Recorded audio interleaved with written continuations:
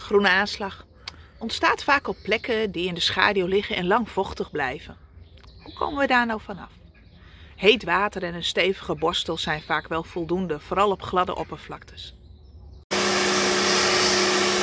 Poreuze oppervlaktes zijn heel goed te reinigen met de hoge drukspuit.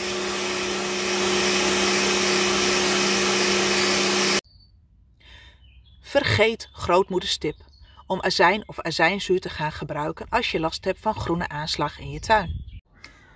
Maar ook het gebruik van de officiële groene aanslagreinigers heeft een keerzijde. Het heeft een behoorlijke aanslag op ons bodemleven. Die willen we juist goed hebben voor gezonde en sterke planten.